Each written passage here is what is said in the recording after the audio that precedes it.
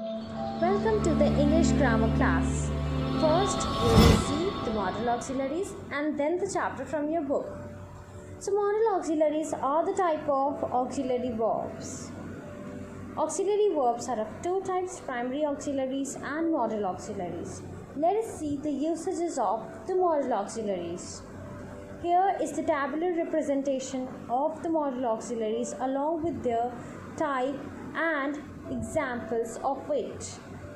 So, let us start with the type and the name of the modal verbs and the example. To express ability, to express permission, to express advice, to tell some obligation or duty, to show some possibility. We use modal verbs. For ability, we use can, could. For example, David can speak three languages. Next example, he could speak fluent French when he was five. Next, to show permission, we use can, could, may. Examples Can I sit in that chair, please? Permission. Similarly, could I open the window, please? Example 3 May I borrow your dictionary?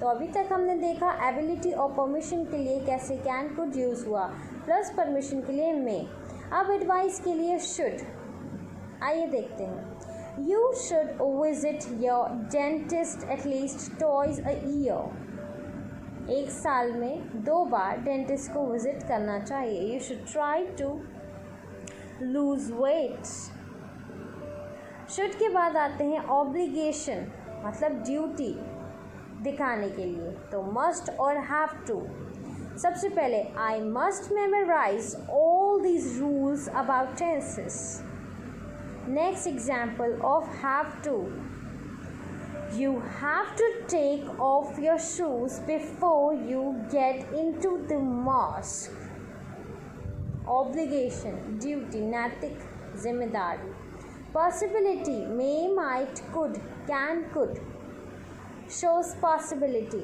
Let us see some examples of them. It looks nice, but it might be very expensive. तो ये possibility है कि ये expensive हो सकता है Richard may be coming to see us tomorrow. Possibility of Richard coming tomorrow. These are the modal auxiliaries and their uses along with their examples. Now let us see modal verbs asking for permission. So, modal verbs for permission are here. The table is ready where we will see modal verbs for asking permission. किसी से permission मांगने के लिए कौन से modal verbs use हो सकते हैं सबसे पहला इनफॉर्मल टोन में जब हमें कुछ पूछना है कैन यूज़ कर लेते हैं हम लोग। इनफॉर्मल मतलब जब ऑफिशियल किसी सीनियर से नहीं बात करनी है। Can I borrow your pen for a minute generally किसी से पूछने के लिए हमने आराम से बोल दिया can I borrow your pen for a minute can I speak to John Wilson ये हो गया हमारा इनफॉर्मल अब आते हैं पोलाइट टोन में बात करने के लिए। तो for polite speaking what do we use we use could for example Could I please have a glass of beer? Next example Could I open the window? This was the example of polite tone. Next, formal tone. Formally जब किसी senior से बात officially बात करनी है तो हम बात करेंगे may example may I ask a question please अब किसी ऑफिशियल पर्सन से बात करने के लिए। मे यूज़ कर रहे हैं हम लोग। May we go home now next अब हम आते हैं इसका भी पोलाइट टोन फॉर्मल में ही। इनफॉर्मल में कैन कुड फॉर्मल में पोलाइट वुड आ गया। Would example would you mind if I asked you something अब ये आ गया हमारे चारों मॉडल वर्ब्स जिसे परमिशन के लिए हम यूज़ करते हैं। वेलकम आपका chapter. Today we are going to see models. Do you know what are models?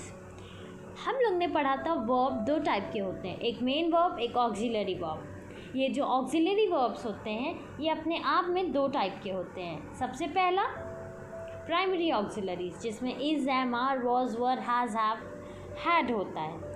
वहीं दूसरे होते हैं मॉरल ऑक्सिलरीज मॉरल्स वो ऑक्सिलरी वर्ब्स होते हैं जो mood attitude of the speaker और ये सब चीज़ें एक्सप्रेस करते हैं. तो ये हेल्पिंग वर्ब की तरह तो आते हैं, पर ये सिर्फ़ मेन वर्ब की हेल्प नहीं करते, बल्कि मेन वर्ब या फिर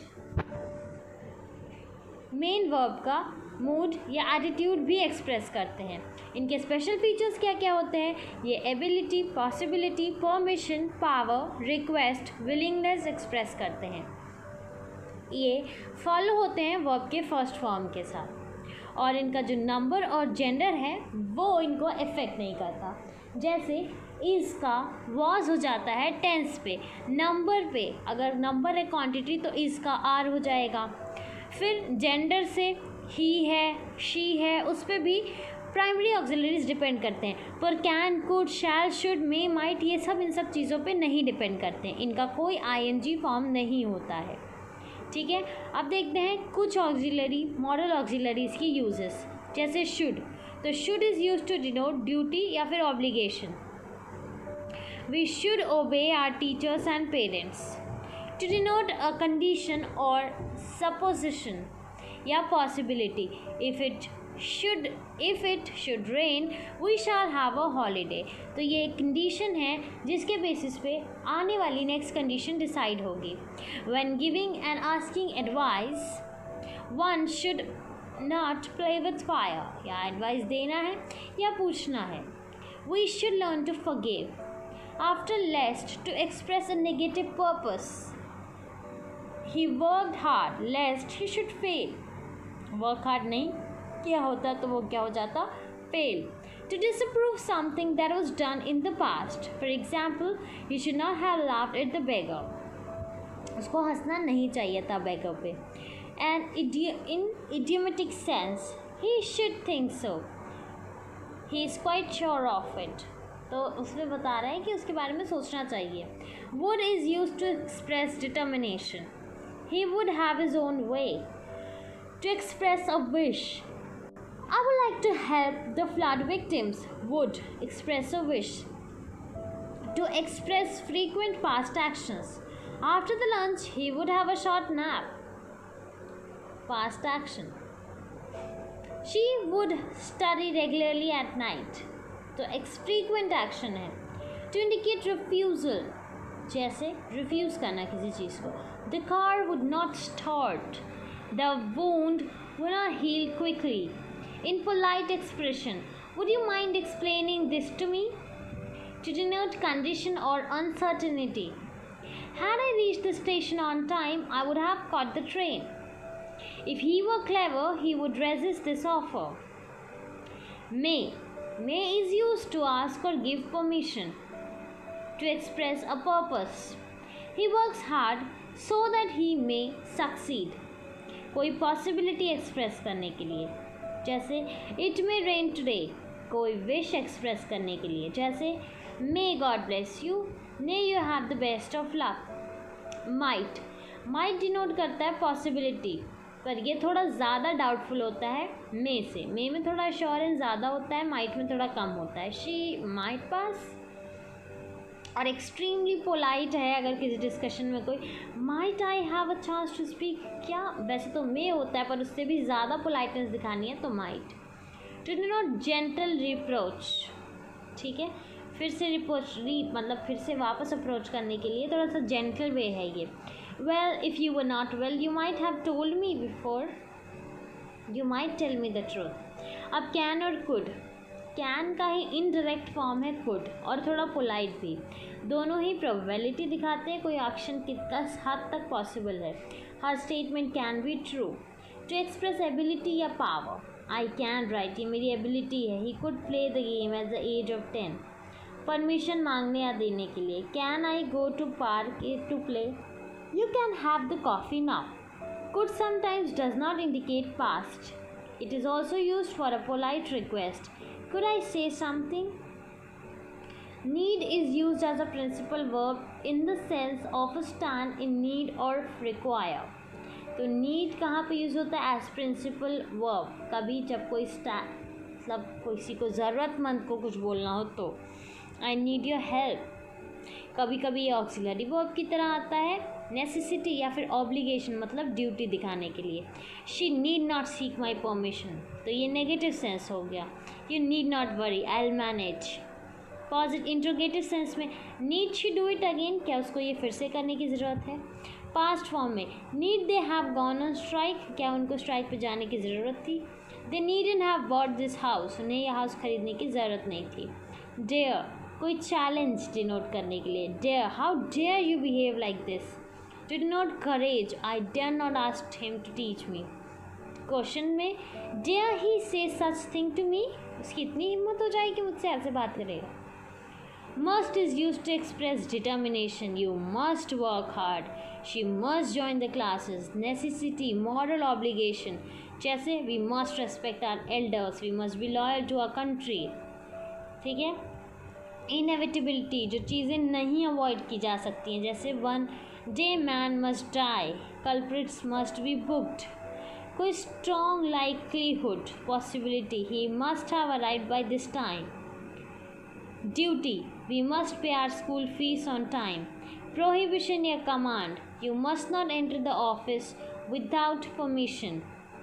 Have to obligation a student has to work hard to get a position in the class. I have to attend the meeting today. When the obligation or necessity is repeated occurrence. they have to submit the project by tomorrow when the necessity or obligation is going to arise in future. I will have to deposit my project on time. Must does not have any past form. So उसके पास के लिए हम had use कर लेते हैं We had to. She had to. तो ये रहे टोटल आपके मॉडल ऑक्सिलरीज जो इस चैप्टर में हैं, जिनके यूजेस जो है आपको डेली लाइफ के लिए ध्यान रखना है।